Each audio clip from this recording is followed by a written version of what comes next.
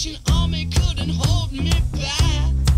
They're gonna rip it off, taking their time right behind my back. And I'm talking to myself at night because I can't forget.